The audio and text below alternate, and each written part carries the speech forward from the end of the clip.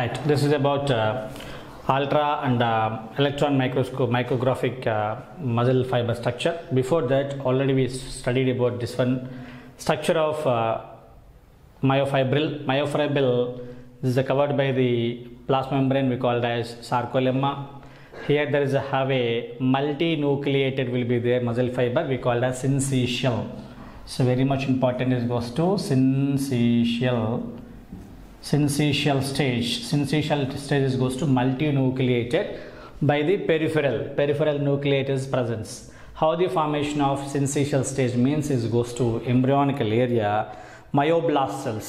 Myoblast cells are mononucleate myofab myoblast cells. Mononucleate myoblast cells fuse to formation of together to formation of muscle fiber in that contain many myoblast cells are fused many nucleus are present into the one bundle of myofibril that's what we call as syncytial stage will be there. In this muscle we consisting of a uh, endoplasmic reticulum we called as sarcoplasmic reticulum. Sarcoplasmic reticulum here we poses to the the supply to the calcium ions to the uh, muscles. They gives to the the help to the contraction muscle contractions will be there. And there is a have a some mitochondria will be there we call as sarcosome sarcosome it goes to sarcoplasmic reticulum and the sarcolemma all we consisting of internal parts of the muscle. Let us goes to ultra structure of the muscle like this. Already we say we explain that is goes to a band i band a band and i band will be there. A band we consisting of a thick thick band we consisting of a myosin filaments myosin filaments. I band we consisting of a thin filaments we called as only actin filaments actin filaments there. It is a this goes to myosin filament and actin filaments is goes to alternatively arranged. Okay. Next uh, a band. A band only one uh, line will be there the one membrane. The membrane we consider as a m line. We call as m line will be there. Next uh, i zone as i band in the center. One more uh, membrane will be in the line will be there. That is goes to Z line. Z line we called as Krause's membrane and uh, Dobie's Dobie's membrane will be there. Dobie's line and Krause's line will be there. This is goes to Z line. Here must be know the unit. One unit of the uh, muscle that is goes to motor unit or it goes to one structural unit of the muscle we consider as a the between the place of two Z lines between the place of two Z lines we called as sarcomere. It's a very very important one. Sarcomere. Sarcomere's definition about the sarcomere means the muscle fiber the presence means two successive Z lines the middle part of the muscle fiber we consisting of a sarcomere. The sarcomere we consisting of a structural functional unit of the muscle. Structural functional unit of the muscle. What is presence in the sarcomere? Let us see. Two z lines two successive z lines we consisting of a a band and half of i band. A band will be there. That is m will be there. Here there is a have a special zone. Which must be concentrated here here what happens means this is about myosin this is about actin. Okay this is the buffer zone will be there. It is a myosin and actin. Myosin actin that is overlapped zone will be there. Which zone is we should not overlap of any type of. Only actin molecules are there. Only actin molecules are there. This zone we called as h zone. We called as h zone only h only myosin filaments only act myosin filaments will be there. We should not presence of actin and myosin will be there. Little bit this is basically light zone. It is a very thicker okay? It is very thicker. Basically uh, a zone is also dark band. It is consideration of a dark band. In the dark band h zone we goes to little bit of lighter. Little bit of light zone will be exhibited to the h zone this is about uh, ultra structure of sarcomere. A band i band a and i alternate will be there. We consisting of uh, two types of filaments will be there. One is goes to oh, these are the thin filaments. Thin filaments we called as actin filaments. Dark filaments we called as myosin filaments. A band we consisting of a both light filaments and dark filaments. Light filament and dark filaments will be there. The H zone, middle of the H zone, we consisting of only only myosin filaments are there. These type of zone we call as H zone. And Wilkins of uh, I in the center there is a have a Z. Z, Z is goes to Z line will be the micro electron graph. We have to see that. Uh, Z means the membrane we called as that a zigzag like structure will be exhibit that's why we called as Z line and Krause's line and Dobie's membrane.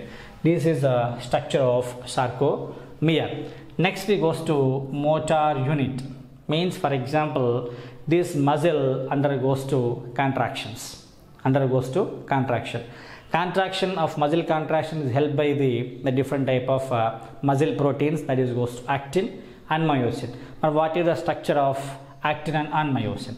First we goes to actin. Actin, it is a protein molecule. We consisting of a we call as thin filament. We consisting of a thin filament. We consisting here F F tubule and F tubule. In addition to that, F tubule be consisting of a G protein and globular protein molecules and we call it of tropomyosin. Tropomyosin. Addition is goes to troponin. These all are present here. Okay, that is goes to thin filament. Thin filament. I actin we consider as a thin filament. We consisting of a F tubules or G proteins. Means, for example, this is a actin this is goes to actin actin filament actin filament in addition to that such a globular proteins there is goes to g protein helical proteins is goes to globular protein this is goes to actin this goes to globular protein will be there the helical structure of globular proteins these we consider as a globular proteins we called as G proteins. This goes to this is goes to actin, actin filament, actin protein. This goes to G proteins, and here there is a have a one uh, stripe-like structure, striped structure. This type of striped structure we called as tropomyosin fibers. We called as tropomyosin fibers. This is a stripe-like structure overlapping in each other. We called as tropomyosin structure here alternatively, alternatively there is a have a three subunits of troponin is presence.